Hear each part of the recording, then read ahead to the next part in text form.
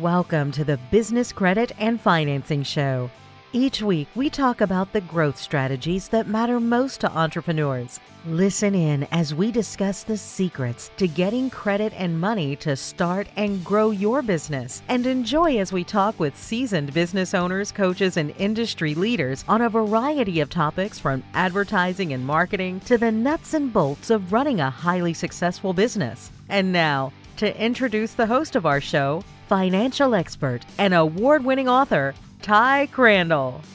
Hello, everybody, and welcome to the show today. I'm really glad everybody could join us. So, today is going to be a really cool day. We're going to be talking about a topic that is near and dear to my heart because we have a uh, special guest on with us. It's going to talk a little bit more about buying businesses, selling businesses. So, this is going to be applicable to all of you in a couple different ways. For those of you that own businesses now, you're going to learn a lot about what you need to be doing to make sure that you have the best value when it goes time to sell. And you're going to meet somebody who might have an interest in buying your business when it comes time to sell and if you're interested in getting into the business, you're going to learn a lot of inside information as well. So with us today is Carl Allen. Now, Carl's an entrepreneur, investor, and corporate deal maker who's worked on transactions worth over $50 billion, which includes over 250 acquisitions and sales, together with more than 100 capital fundraising projects. In a 24 year career, Carl's analyzed thousands of businesses, big and small, in 17 different countries and across nearly every business sector, including technology, pharmaceuticals, transport and logistics logistics,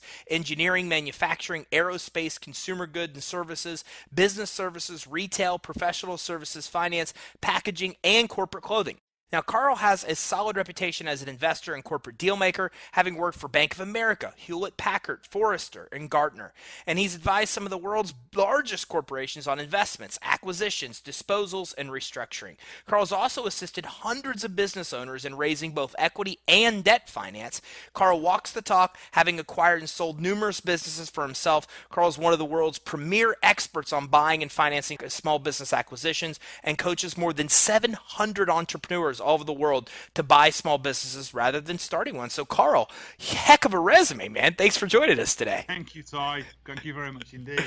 yeah, I'm really excited you could be here. So, you know, how did you get into this? I mean, what first attracted you to the realm of, of buying and selling businesses? Yeah, so I learned the traditional way. So I graduated from college in 1992 and uh, I went straight into uh, investment banking. So I worked for Bank of America, was working on, you know, really, really large deals. I think my first deal was a $500 million sale of a business from Boeing to GE. So I kind of got into the game really early, spent a lot of time on Wall Street, you know, doing the hard yards, doing deals. And then I left, I went to business school and spent some time in private equity. And then my last real job was working at HP, Hewlett Packard. So I went just at the end of Carly Fiorina's reign before Mark Hurd took over, and they gave me $25 billion to spend on software and services businesses. So I was flying all over the world, doing deals, some you know mega deals, billion dollar deals, and um, I had a really strange kind of thing happen to me in 2008. My wife was giving birth to my son. She was a couple of weeks before giving birth, and I was in Moscow, of all places, negotiating to buy a company. And um, and Julia went into labour, and I got the call. I had to literally dash to the airport. I ran out of the meeting room with my cell phone, my passport, and my wallet. I left all my luggage. I left all my computers and books. I literally got to the airport, got on the plane. I walked into the hospital. Well, I ran into the hospital literally five minutes before my son came out. So I decided that, you know, I almost missed the birth of my son. I was going to retire from the corporate world. I was 38 at the time. And I was going to do my own deals. I was going to buy and sell my own businesses, which is what I've been doing. I'm still doing it today. In fact, just before joining you, I've just been working on an offer letter for a $7 million revenue engineering business in Texas that I'm buying. Uh, I'm buying that business without having to spend my own money, which is what I do. And a couple of years ago, I just got inundated with people wanting me to teach them my process. You know, how do you do what you do? Can you teach us? So I built a training program to coach and mentor entrepreneurs that they can take their own skills, their own passions, their own business experiences, and instead of working for somebody else or starting a new business from scratch, teaching them how to go and buy an existing business that someone else has built and doesn't want anymore, and how to structure that deal without having to necessarily spend your own capital. So let's dive into that. I mean, what do you think, from your perspective, with your experience, is the value of doing that, of buying a business rather than founding one? Yeah, so it's a really good question. And, and it's almost like I went and bought a cell phone from Apple just last week. And it's like, do I go and buy a cell phone that someone's built for me that works and I can just switch it on and, and operate it? Or, you know, would I go and buy all the different components and would I build that thing myself? It might be a different type of phone. So if you look at the statistics Ty, they're astonishing. You, know, there's there's almost seven million people in North America every year go and start a new business because it's their passion. And they do that because they're frustrated working for somebody else. And out of those 7 million people, Michael Gerber, who's the author of the E Myth, he, and this is his data, not mine, 96% of those startup seekers will fail within 10 years. 50% will fail just in the first year alone. So, what I'd rather see happen is rather than go and reinvent the wheel and start a new business, bearing in mind if you start a new business from scratch, you've got no capital, you've got no employees, you've got no products or services, you've got no customers, you've got no credit, you've got no reputation. If you go and buy an existing business that someone's built but wants to sell, and you can engineer that deal where you don't necessarily have to spend your own money to buy it, then you're buying a business that's already working. It's got customers, it's got everything that a startup you know doesn't have. And and another statistic that's really shocking is in North America today, there's over 2.4 million businesses available for sale with less than $10 million in annual revenues, and only one in 13 of those businesses will sell within the next 12 months. So you've got all these entrepreneurs starting new businesses that are going to fail because it's really, really hard. Yet you've got all these businesses that people want to sell but can't. I'm trying to connect the dots. That's my vision. That's kind of my dream, and that's that's what I do. What I do. Well, how do you uh, decide? You know, with all these businesses for sale, right, and all these different industries and sectors you've been across, how do you even get a start of you know what deciding on what kind of business you're supposed to buy? Yeah, that's a really good question. And what I do is I take people through what I call the dream deal specification. So the business that you should buy needs to tick three boxes. So box number one, it needs to be related to your experience. So, you know, if you've spent your career, let's say you're a manufacturing manager in GE, you wouldn't go and buy a retail store. Uh, you, you wouldn't go and buy a chemical processing business. You'd go buy an engineering company. You'd buy a company in a sector that you know and that you understand. The second thing that you would do is you want to buy a business that you're passionate about because once you've acquired the business, then you know as the business owner you're going to want to grow that business you're going to want to take it forward. So you want something that's going to get you out of bed every day and keep you passionate. And then the third thing is you want to buy a business where you know you've got a network that can assist you. So you you've got people in the industry that you know you can leverage you know into that new business. It might be customers might be suppliers might be advisors financiers all those different things. And then the, the, i suppose the fourth thing if we can add a fourth is you've also got to figure out you know do you want to be a business owner or a business owner investor versus kind of the you know the general manager do you want to go into that business every day and operate it in which case it needs to be close to where you live. So location is important. Or do you want to be like an owner investor? So do you want to do the strategic work rather than the, the technical work, the tactical work? And you know, some of my businesses, I own 17 different businesses all over the world. Some of my businesses I only visit once a year. I've got managers in those businesses, you know, that are driving the results for me, and we're only collaborating via Skype or on the phone you know, maybe one hour per week. So those are the sorts of questions that one should ask themselves, you know, before they go in and start looking at deals, because otherwise you'd get lost in all the deals that are out there. So being able to focus and narrow down into sectors that you like and you love and, and, you know figure out you know what kind of role do you want to have in that business then originating deals becomes quite easy because you know most of the deals that we originate you know we don't tend to go via business brokers. We we originate deals directly and we leverage a lot of you know social media techniques. But even people that want to get a fast start want to go and look at business brokers if you go onto bizbuysell.com you know there's hundreds of thousands of deals that they've got listed. You can search on location size sector all these different things. So it's become really really easy you know to look for the types of businesses that are, are, are going to tickle your boxes. So, do you think that there's industries to focus on or avoid entirely based on? You know, because I've heard that you know some industries have higher uh, multiples than other industries. Is that accurate? And is there industries to just completely avoid, or ones that kind of do better than others? Yeah, so that's a really excellent question. And the answer to that is yes, there are. So, one industry that uh, is getting very high multiples is like the online space. So, buying software as a service business or buying an Amazon drop ship type business, those sectors tend to have high multiples. You know, software companies, even though I own a couple of software companies, those multiples can be a lot higher. And it's not necessarily the sector. There's two things that drive valuation. One is how fast the businesses are growing in that sector. So if you think tech, pharmaceutical, you know, Amazon online type businesses, they're, they're all fast growing, high margin. So that's what drives valuation. But the real driver of valuation is the seller. It's seller psychology. So what we focus on, the types of deals that we're doing, we're buying businesses from retiring baby boomers who can't sell their business.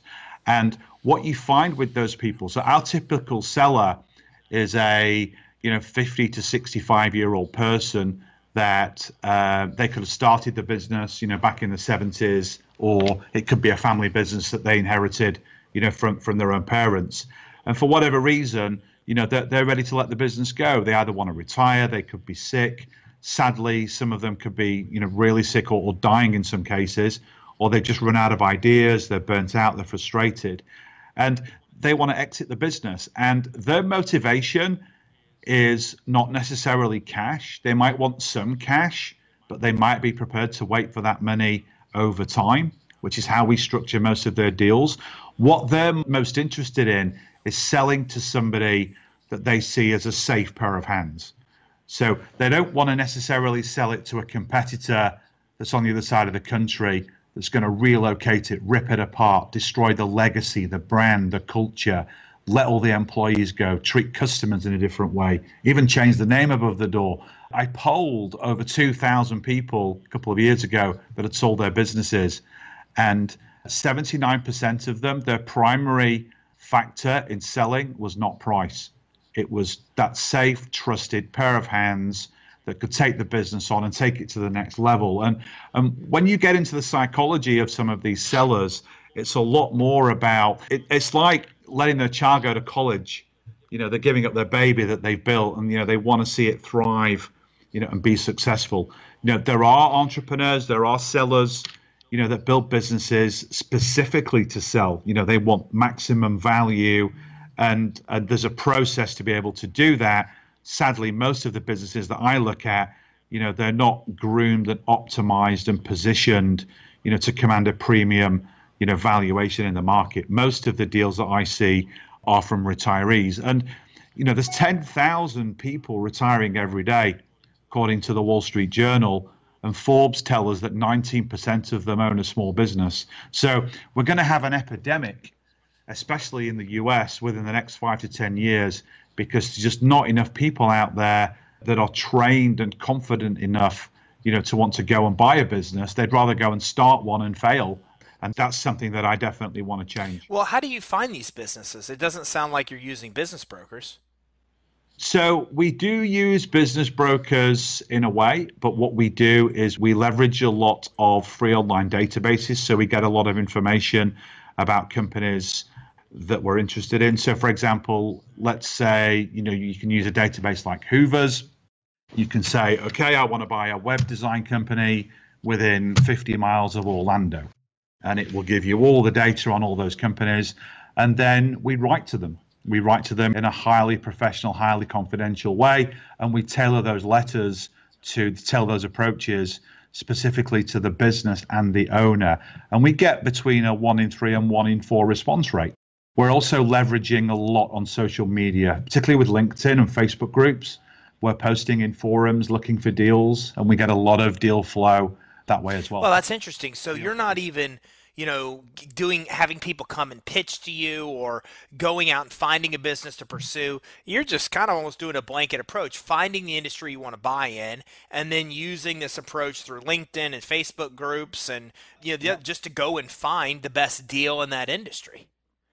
Yeah, and what, what's interesting is that there's like seven or eight primary deal origination techniques that, that we utilize. And what we find is depending on you know the members in my program depending on you know their psychology some of them you know they're working full time so they want the desk based approach.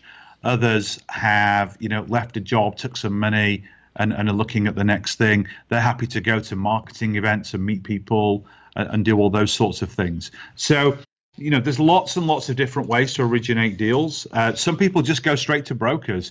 Broker deals are harder because it's the way the business broker industry works most business brokers they'll convince the seller that you know they're going to get a crazy multiple of profit for the business. They'll charge them the big upfront listing fee which they pocket and that's why brokers will only sell one in 20 businesses. But if you go to business brokers and you ask them to give you their deals that have been listed for say 12 months or more you've got that distressed seller psychology. So it's easy then to work with a broker to pick those deals up and they'll even help you do those deals because they want them off their book. Well, how do you quickly evaluate, you know, whether it's even worth, uh, you're even looking at a business worth buying or not? There has to be some basic things that you're looking at pretty quick. Yeah. So the first thing I always look at is seller psychology. You know, what's the motivation to sell? And you, you, you can have two businesses that could be identical businesses in terms of sector, revenues, and profits.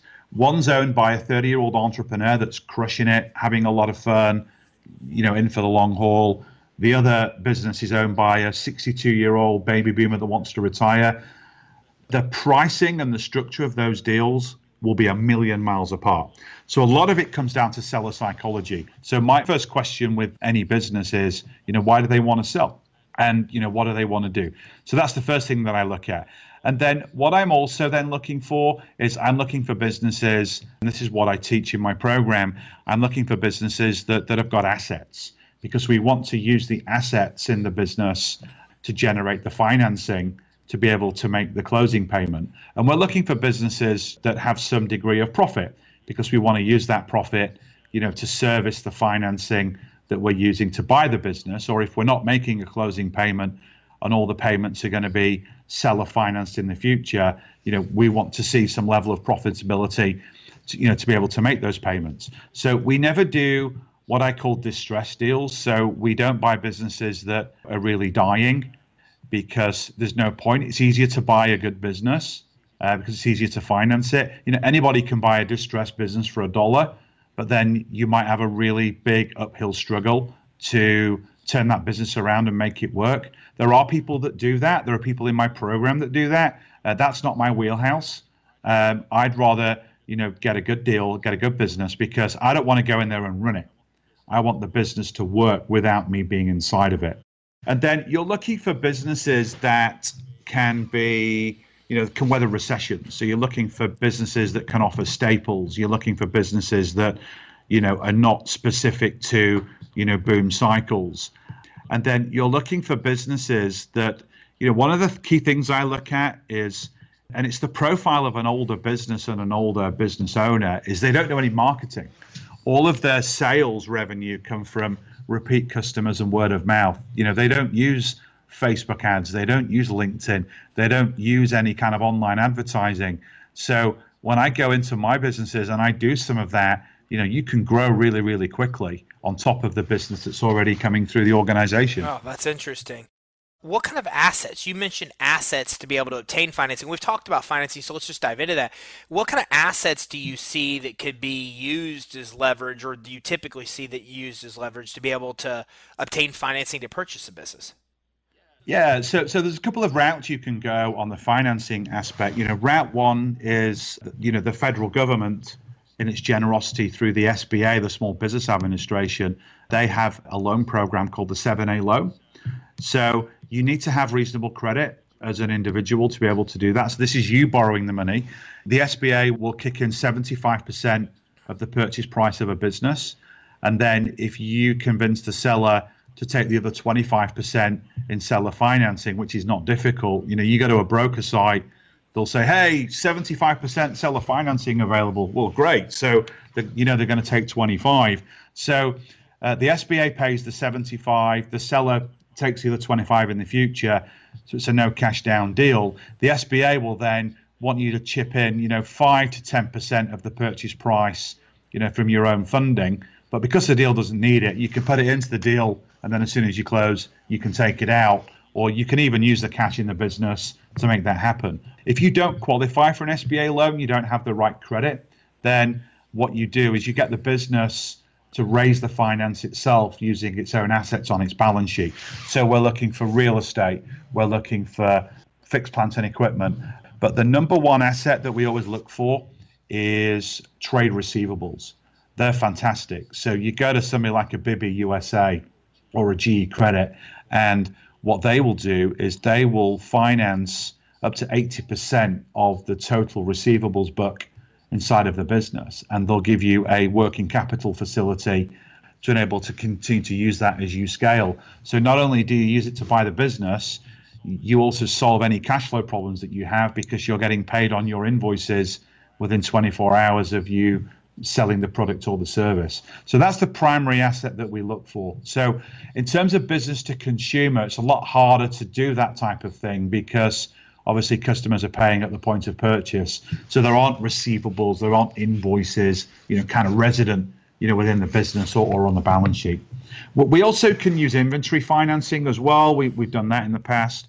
Uh, with tech deals, you can also you can borrow against the intellectual property if it's proven to be generating cash flow, but it's a lot harder to do that. So it's really, you know, kind of real estate, fixed assets, and receivables that we utilize. If you're not going down. So if you are going down the SBA route, then you as the buyer is the one acquiring the SBA loan. Is that right?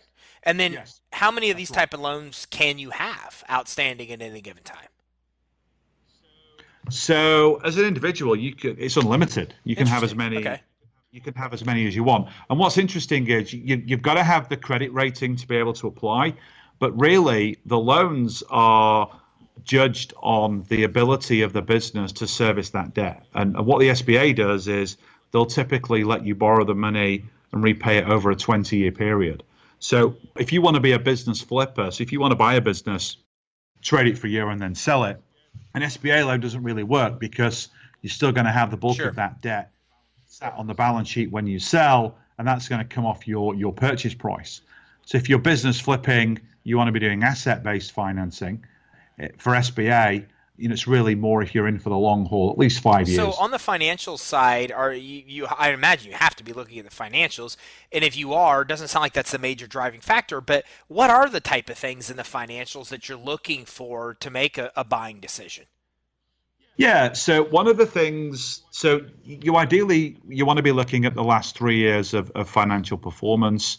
So you're looking for trends. You, you know, you're looking for revenue trends. You're looking for trends in margin, and and you're looking to see what the cash flow is because you know there's an old saying, isn't there? You, you know, re- revenue is vanity, earnings are sanity, cash in the bank is reality. So really it's all about the cash flow. You can see a business that you know looks profitable, but if it's not managing its working capital sufficiently, then you know you want to be buying a business that's generating cash, and and the financial statements that. Uh, that you get from the seller. So when you go and see a business, you know, you have your first meeting, you build some rapport, some trust, some credibility. You go under non-disclosure. They give you all the numbers, and then it's pretty easy you know, just to go through it. You know, a lot of the people that come into my program, you know, they're not financially trained. Obviously, easy for me because I'm a Wall Street guy. So I, I built tools and templates and models so they can literally get the financial accounts. I show them the eight numbers that they've got to extract. They plug them into the model. 20 seconds later, it tells them you know the value of the business, where the financing is going to come from, how to structure the deal, and then what's the business's ability to be able to service that debt. That's the key, because there's no point buying a business if the business can't repay the money. So figuring that out is, is really, really important. And in fact, you know, financiers wouldn't pledge the money into the deal if they didn't think that the deal could service itself as well. So those are all really important things to know. What about the owner? It sounds like, if I hear it right, that you almost are looking for the guy that's just like, I'm exhausted, I'm done, I went out, versus the young guy, the young buck that's come in and proven themselves and that, you know, is just passionate and excited what's going on. Or, or am I misunderstanding? I mean, what are you looking for in the owner to make that kind of decision? It's the former. So our model, it's the former. Now, uh, it's the distressed seller of a good business. It's the person that you know is ready to throw in the towel, and their only option if they don't sell is to basically close the business down. You know, a lot of people do. You know, if you can't sell your business and you can't take it anymore, they just close it down, they liquidate it, and they destroy their legacy. They have to let their employees go. These are people that they've worked for them, you know, loyal people for a long time, and it, it breaks their heart you know, to kind of do that. So they they'd rather not give the business away, but they'd rather do a friendly deal that you know is predominantly seller financed. That's better for them than to shut the business down. Because in some cases, if they close the business down, it's going to cost them money to do that. You know, they won't get the liquidation value on their assets. They'll have leases on the facility. They'll have bank loans and overdrafts. They'll have suppliers to pay. Some of them are probably their friends. So all the money they've saved for retirement, you know, they've got to get that out of the bank and start paying people down. Whereas in some cases, it's cheaper for them just to say, here you go, Ty, take the business on with the debt that's in it. It's a dollar transaction. I can retire with all my money left intact and go and live the rest of my life knowing that you're going to look after my business and, and treat it with respect. So that's the sort of person that, that we're targeting because I'm coaching entrepreneurs to buy businesses, you know, spending as little of their own personal money as possible. And in a lot of cases, no money down from their own pockets. But as I always say, every business is for sale at a price. You know, if, if you've got $10 million burning a hole in your pocket, you want to go and buy a company, you can buy a business from a 30 year old entrepreneur that's crushing it or wants to sell out but that all your money is going to be going to that person. So you know those aren't the sorts of deals that, that i do. I used to do those deals when i worked at hp and i had billions of dollars of their money to spend obviously those were the deals that I were doing, but now that's not what we're doing. So then, in this scenario, what's interesting is that you buy businesses all over the world, right? You own 17 businesses, but you're looking for the people, the founder, the one that built it, blood, sweat, tears.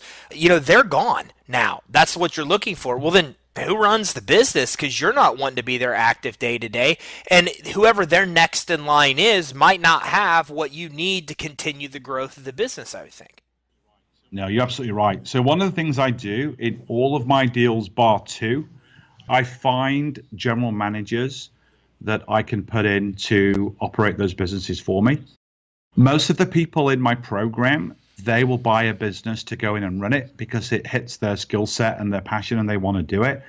But if you don't, you've either got to have the owner stay on, which it's surprising to say. One of the guys in my program, Tyrone, he lives in LA. He's just bought a manufacturing business in New Jersey. The seller didn't want the hassle of owning the company, but he was happy to stay in and operate it. So he's done a deal where, you know, he's continuing to go in every day. You know, he wants the income, but he doesn't want the responsibility of owning the business. So that's a win-win deal for everybody. That's quite rare, I have to say. In most cases, you either find somebody inside the business that can step up as a number two and you know operate the day to day. So they're not doing the strategic stuff, they're not doing the financial stuff, but you know, but they're keeping the the train running on time. Um, if that doesn't happen, then you know you can leverage LinkedIn or your own personal network and go and find somebody that that you can trust that can go in and can operate that business for you. And then what I always do is I gift them a sure. small piece of the equity, so I make them my partner. So it incentivizes them, you know, to drive the results because then you know that person's growing you know both of our wealth creation. That's interesting because if you don't have a, a, big network and you don't have somebody you necessarily trust to take on that responsibility man that's a huge risk to incur just to find somebody you don't even know to put in that position to run a business like that. I mean do you do a lot of that or is almost all of what you do people within your network that you already have a relationship, trust is there that you're finding to step in? Because I would think that's tough, right? I mean, like you know a lot of people, but like you just described, you live in California, you don't know some dude in New Jersey that knows manufacturing that you just happen to know and trust, right? So I would think that would be difficult. Yeah, so there's a couple of points on that. So, really good question, actually. There's a couple of points on that. So, throughout the process, because bearing in mind, it takes about 100 days from start to finish to do a deal. And part of that, you're going to be doing due diligence. So, you're going to be spending time with the business, you're going to be meeting the employees.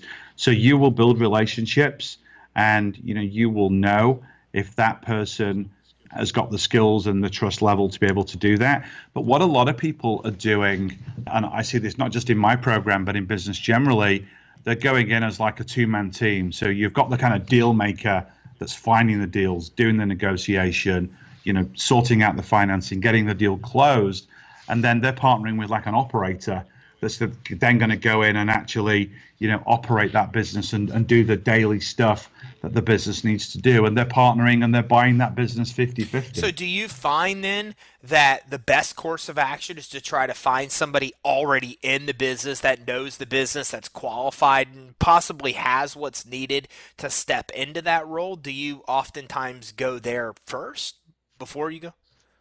Yeah, so if you want to do deals on your own and you don't have the large network and you don't have a partner that can come in with you and do that operational stuff, then yeah, that would be one of the key points of your filtering, your deal filtering, is to make sure that as you meet those these businesses and you evaluate them, that you know there is a trusted person that's in there. Or what you can do is before originating any deals, you know, go and find somebody on LinkedIn, start to get to know them, and then you know, figure out your plan together. Or, as I said before, you might have a partner already and you want to go and do those deals, you know, 50 50 already. So there's there's multiple different ways of, of, of doing it. And as I said earlier, in some cases, not a lot, it's quite rare, you will find a business where, you know, the seller wants the job but not the business ownership.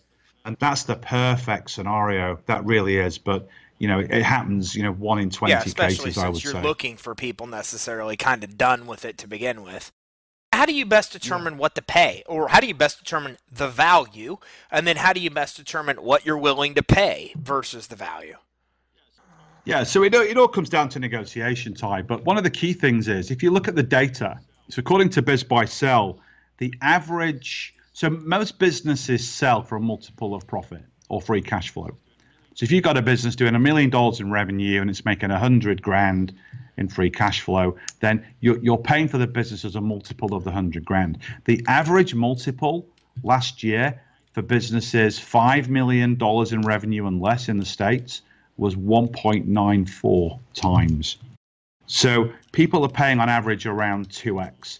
Some deals are higher, some deals are lower. You know, I've just done a deal where I paid less than one times I've done deals in the past few years where I've paid six times because the business had the assets to raise the finance to make it work. So what's more important is not necessarily the value, it's the structure of the deal. You know, let, let's say you owned a business that, you know, was doing a million dollars and making a hundred grand in profit. And you said to me, you know, hey, I, I, I want a million dollars this business. I want 10 times, but I'm going to give you 20 years to pay me the money and you only need to pay me anything if we go above $150,000 a year in profit. You know, I'm going to take that deal all day long because there's no risk to me. If you said to me, you know, I, I, I want 100 grand, I want one times, but I want it all now, and there's no financing in that deal at all, then, you know, I'm not going to do that deal because I don't want to take that risk of having to dump 100K of my own money in when, you know, the business might not work. So, the structure of the deal is more important than, than the valuation, but as an average, it's around two profit. X. Right. Okay. And yeah, and that, that that makes a ton of sense. But I think as a seller, the concern is is that if I step away from the business and sell it to you and I finance it, that you're going to run it into the ground, and then I don't get the money that I financed. I would think that that's a concern that some of these sellers might have. Yeah, it is. And we handle that through the legal process. So, one of the things that we do, we don't get that all the time, but when we do, I would say 50 50, you know, we get that concern. What we can do is we can allow the seller to have a clawback on the equity in the business. So let's say we were doing a deal, it, was a million dollar deal, making a hundred grand. The seller wanted 200k. We paid a hundred down through financing the, the balance sheet or SBA, and we paid a hundred in the future. We'd own 50% right off the bat. We'd have to give the other 50% back if we didn't make those payments. Because the more common question is, you know, not that you run the business in the ground, you know, you scale the business, you make all this extra cash flow, but you, for whatever reason, decide you're not going to give me the money and I've got to, you know, hire an attorney, I've got to litigate for that cash. So having that in the contract that they're able to come back and, and, and take their 50% shares, that's something okay. that we Makes do sense. sometimes. What about if you're looking to buy a business, you know, what things should business owners be focused on to make their business worth more? Yeah, so this is kind of turning it on, on its head. So, and this applies to a business owner already that wants to sell their business, and it also applies to somebody that wants to buy a business but then wants to know what they're going to do with it, you know, once they own it. Because, you know, the point of buying a business is you you grow it, it makes more profit, and then you sell it and you make money. So the, there's four things that you need to do, you know, with a business to sell it. So the first thing that you need to do and this is the most important thing, is one of the things I see a lot with a lot of businesses that I see is that the business and the owner are one and the same. So the owner is the business. And in fact, the owner doesn't have a business, they have a job in their own business. So if they were to leave the business, the business wouldn't work. All the processes are in their head, all the sales relationships are in their head. And this is the owner that, you know, can never take vacation, because the business wouldn't work, you know, can never get sick because the business wouldn't work. So the first thing that you need to do to sell a business at all is you've got to make it work without you. So it's got to be systematized and groomed so that if you're not in the business, then you know it still functions. You know, one one of my members of the program, he's bought four health clinics, all no cash down deals and he's gone and he's systematized them and he's got them working perfectly without him. He got really sick last summer. He had to take six weeks out of the business. The business actually grew. It grew, it became more profitable without him being in it. So making the business work independently of you is really, you know, the most important thing. The second thing that you want to do is, you know, you want to grow the business. You know, a lot of businesses especially the old businesses with with an older kind of generation owner, they tend to just let their business tick over year on year. It's word of mouth, repeat sales. You know, there's no real marketing, there's no focus, there's no business development process. You know, they don't understand any of that stuff. They don't want to. They don't leverage social media. They don't do any proper marketing. So it's getting all those things, you know, kind of figured out. The third thing there that you want to do is you know, at least a year before you decide you want to sell the businesses, you want to get ready. So you want to get all your ducks in a row, you know, all your legal documents or your financial documents, you know, get everything really, you know, kind of organized so that if somebody comes in, you've got everything that they need. You know, I'm doing a deal right now where I've been waiting six weeks for some of the most basic financial information. You know, I'm at the point where I'm ready to throw in the towel because I can't wait any longer for this person because they don't have proper financial systems. They don't have all the data ready, you know, to give to a potential buyer. So that's really, really important. And then a, a kind of real, you know, kind of silver bullet play, and I do this in all my businesses, is the only way that you're going to get a kind of premium multiple for your business is if you go and you know you got to go and pick a fight with a competitor in the marketplace so, you know, find out who your perfect buyer is. You know, why would they buy your business? Is it because of your customer base? Is it because of your IP? Is it because of your products and services or your systems or your team? You know, what is it about your business that's that's unique? What's the magic dust that you've got that others would covet? And then, you know, just go out and start making some noise in the market. Try and negotiate them and get into some of their customer relationships and that's when they'll come and they'll take you out. You know, there's instances where you know Johnson and Johnson, although it was a big deal, they bought one of their small little competitors for almost 70 times profit, seven zero, because you know they were in the market, you know, causing some trouble, and it, it's cheaper for them just to take them out than fight toe to toe with them in, in guerrilla warfare. You know, Facebook, you know, paid a thousand times profit for WhatsApp but that was because you know they wanted to leverage you know the WhatsApp community into what Facebook does. So so those are some of the things that you can do as, as a business owner. But but but generally, if you're a baby boomer, you're looking to come out of your business, you probably don't want to be doing all that stuff but getting your business ready, getting it organized, separating yourself from it, you know, putting some growth into it, you know, those are all things that you know really everybody. Carl, it's been enlightening today. I mean, this, you've shared some amazing insight. There's a lot of people listening that are interested, possibly in selling now or down the road, and maybe have models that would work for you. Or there's also people that would like to learn more from you and your education platform about buying businesses. Where can all of our listeners go to get more information? Yeah, so the, the program's uh, called the Business Buying Accelerator. So it's businessbuyingaccelerator.com. What I could also do for you, Ty, you know, as a thank you for having me on the show and as adding real value to your community, I'll send you a special offer discount link that if you want to send that out to your community, you know, they can come in at, wow. a, at a 50% discount to the enrollment fees. So I'd be more than happy. That's extremely uh, generous, and I appreciate that, that, So everybody listening, remember, none of this means anything unless you take some kind of action. So make sure you write this down: businessbuyingaccelerator.com. Businessbuyingaccelerator.com. My advice is to go check that out right now, and also check out the show resources page. And on the show resources page, I'm going to have this link to this extremely generous offer that Carl has, where you can get in on his system for half off of what he normally charges to be able to get into the business of buying business businesses. So I want to thank you very much, Carl, for spending time with us today. Thank you. I know you're a busy guy. And thank you all very much, very much for listening. Make sure you check out businessbuyingaccelerator.com and also check out our show resources page where you can grab this discount link that you are absolutely going to want to grab. Thanks, everybody. Have a great day. You've been listening to the Business Credit and Financing Show with your host, Ty Crandall. Watch for our next episode to get even more insight on financing and growing your business. And don't forget to check us out online at creditsuite.com for even more business growth strategies.